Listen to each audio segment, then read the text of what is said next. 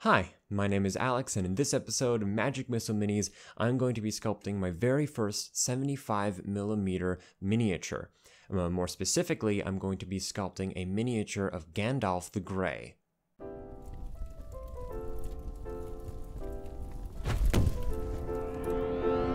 The first thing that I wanted to do was make the armature for this guy. And since I needed the wire to be a little bit stronger than normal, since this is going to be a much bigger miniature, I cut out about twice as much as I think I'm going to need, and then I twist that together, making a stronger wire. And do that again on a separate piece of wire for the arms and such. I also added a little armature for the staff, but later on I just use a barbecue skewer. I then pose the miniature a little bit and connect everything together with some hot glue on a 50mm base and then I can start adding all of the milliput. And I'm using milliput for this project mostly because it's a little bit cheaper than green stuff, and making a miniature this big with just green stuff would go through quite a lot of it, whereas it doesn't take up as much milliput. As I'm building this guy up, I add a bunch of long, thick noodles of milliput around his legs, and those are going to act as some kind of guidance for where the folds of the robe are going to be. I'll obviously edit it later, but for now it gives me a rough idea of where some of the folds should be. I also take another piece of milliput and put it onto a different 50mm base that I have, and sculpt out what's going to be the sheath of his sword.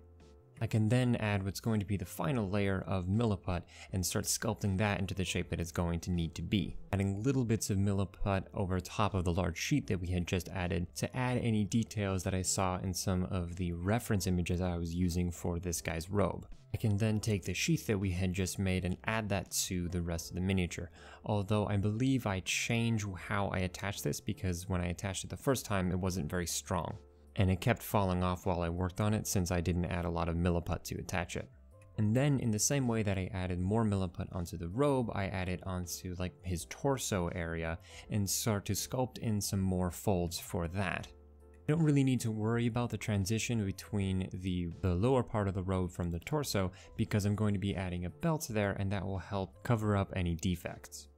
The next part of the process is to add on his long kind of billowing sleeves. And just like before, I add a large piece of milliput in the general shape of what I'm going to need it to be, and then later on I'll come over to that and start sculpting all of the little individual folds. As I mentioned before, I had to reattach the sheath, and I actually add it in between the milliput and this little sleeve that I added since there's so much milliput it would actually like keep it in place once it has set.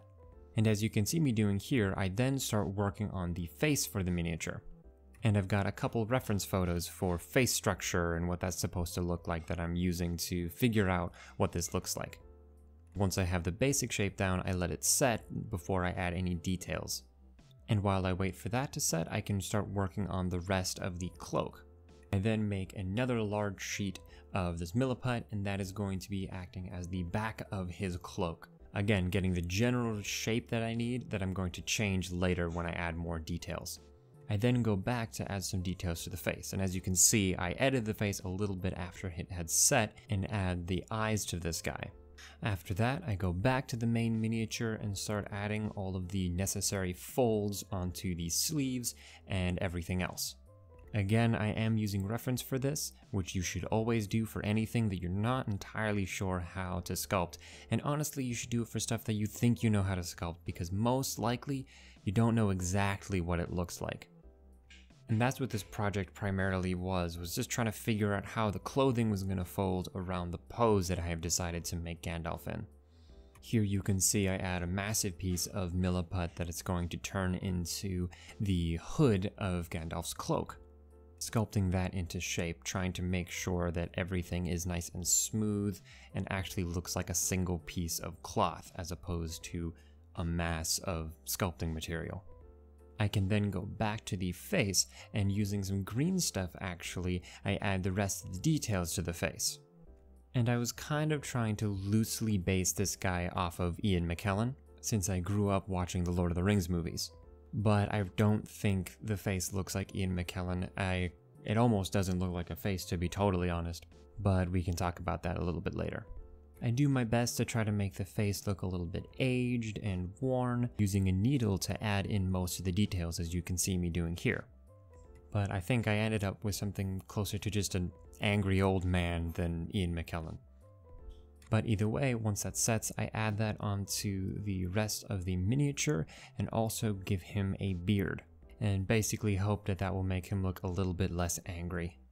And I think I'm a lot happier with how the face turned out after I added the beard than before, mostly because the beard covers a lot of the face. But that's beside the point. As I mentioned earlier, I decided not to use the metal armature I had made for the staff and take a kebab skewer and carve that up to make it like a wooden texture and attach that onto the arm with a little bit of wire that was sticking out. And then to make sure that it stays in place, I also add a little bit of green stuff and wrap that around the wire and the kebab skewer right around where I'm going to have the hand. I then add a bunch of little wires with more green stuff to start making the general shape of the staff itself which is actually based off, again, the one in the movie, although I didn't add the little pipe that you can actually see in his staff during the movies, because that was a detail that I didn't want to have to bother adding. And it's also a detail that most people don't even know about, so that nobody would notice, except that now that I pointed out, you would notice. Anyways, I then go ahead and sculpt the hilt of the handle here, and you can kind of see what I'm doing with it here, although I actually make it a lot smaller than this. So when it sets, I take my craft knife and I kind of make all of these lines a little bit more smooth and sharper to make it look a little bit more like metal.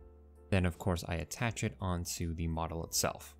Then move on to start the process for sculpting his hat. Pointy hat.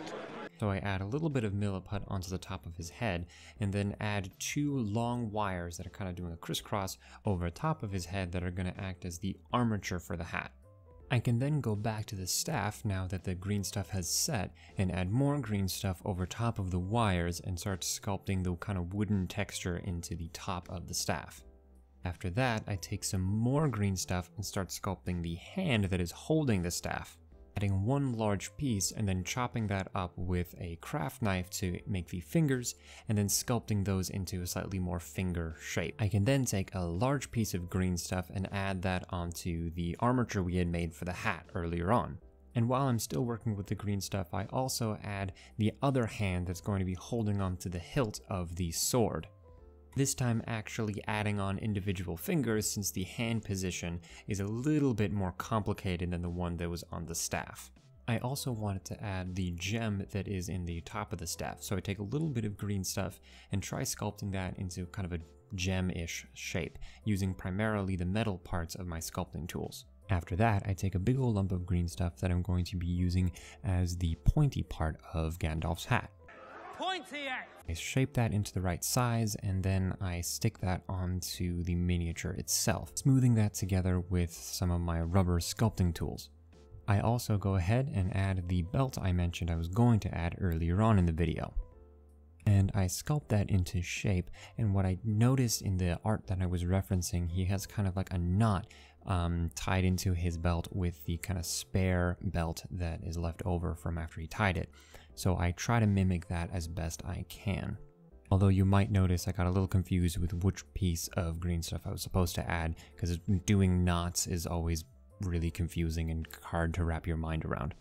But once I figure that out, I also go and add another little belt that is attached to that, that is going to be connecting to the sheath of his sword. Since most of the sword is going to be covered and you can't really see it, I don't have to worry about being too careful with this. And then to wrap up the sculpt itself, I add a little bit more green stuff for his hair. Again, I'm using reference for this to figure out how it's going to flow onto his face and around the back of his neck. And the way I go about doing his hair is by adding long noodles of green stuff that are going to represent locks of hair, and then I texture them with a needle to make them actually look like hair. But with that detail finished, here you can see the sculpt itself.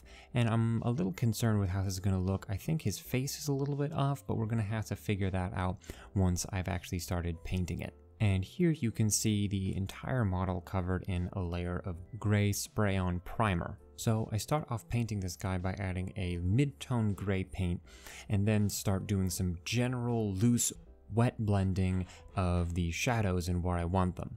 I was planning on having the light source for this figure be the staff that he's holding, to mimic the lighting that would have been on him while he was walking through the Mines of Moria. Which is a fairly intense amount of shadow, so the actual darkest color for this guy is going to be a pitch black. And so I go around the entire sculpture doing this loose shadow layer. I then also add a kind of loose highlight layer, figuring out where all of my main highlights are going to be. And for the highlights here, I'm doing a loose glaze because I don't need any of these colors to be particularly saturated, especially since it's a gray, which is, I think, the opposite of saturated actually. And it's at this point in the process that I'm taking a little bit more care with where I put the shadows, especially on the front, since that's where most of the light is going to be focusing on the folds in his kind of torso and the cloak as he gets closer to the staff, which is of course the light source for this mini. So I then start to work on his face, starting with the darkest tone that I want to use for the face, and then after I've added that over everything, I begin to add the highlight tones with a slightly lighter color over top of that. And because of the size of this miniature, I can just get away with doing wet blending for all of this stuff which is really helpful because as I was mentioning before, if you use glazing, it can tend to desaturate the highlights that you add. And so if you can use wet blending instead of glazing, that's usually preferable. But that also depends on the style that you're going for. If you're going for a super desaturated, maybe kind of grim dark vibe, then glazing could be a perfect technique. But I want his face to be fairly bright since it's right next to the light source. Then to quickly finish up his face, aside from adding the pupils for his eyes, I add the light gray for his beard and hair. Then I go in with the same paints I was using for his face and paint his hands. Again, primarily using wet blending as the main technique. I also don't hesitate to make it nice and dark, especially on this hand that's really far away from the light source. I then quickly go and paint his staff with a brown color, but before I got too carried away with that, I wanted to add a black wash over all of the clothing and cloak on this guy as well as his beard. That way I could bring out all the details that I sculpted as far as the flows of the cloak and texture of his hair. I then do a quick dry brush with a brighter brown over the entirety of the staff to bring out some of the texture. And then really quickly darken that by adding a brown wash over top of it. I then go back to the cloak and add a little bit more dry brushing to kind of strengthen some of the highlights that I had kind of covered up a little bit with the black wash that we added. I then move on to paint his leather belt, going over with a mid-tone brown, and then I go over top of that with a dark brown wash. And I'm doing this before I add the highlights to make there be some amount of difference between the staff and his belt. And of course, once that has dried, I then go in with the aforementioned highlights, adding a little bit of yellow into the brown and kind of going over it with a slightly loose, scratchy highlights to make it look like the dings and scratches that would be in a piece of leather. I then go to paint the crystal in his uh, staff, painting a lightish blue white and making a bit of a gradient from bright white at the end of the gem to a light blue at the base of the gem. After that's added, I can start doing some of the OSL. So I go around uh, most of the area around where the staff is with a white dry brush, as well as a little bit of glazing with the light blue that we added as it gets farther away from the light. And I do quite a lot of this OSL to really give the idea that the main light source that is a part of this miniature is this part of his staff. Uh, but to be totally honest, I think I might have gone a little bit over the top with this, but object source lighting is always so much fun to do. It always looks so good, but you can also definitely do too much of it. Then take a little bit of blue paint and paint the pupils in his eyes, then go in with some metallic paints to paint the few little metal bits there are, like the belt buckle as well as the sword itself, starting with a darkened metallic paint and then adding on top of that a highlight with a brighter silver. And then with that detail added, the miniature is finished.